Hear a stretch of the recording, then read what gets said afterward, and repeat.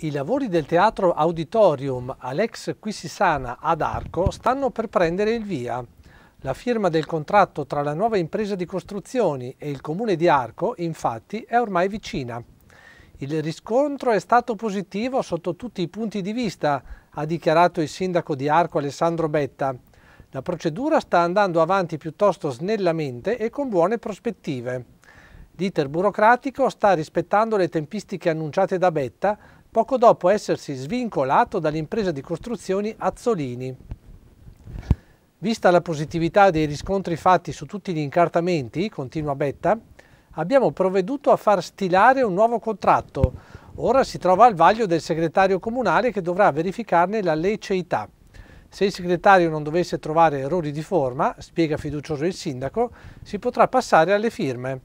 Dopo un lungo stop e tante preoccupazioni, sembra che per il Teatro Auditorium di Arco sia imminente il riavvio dei lavori.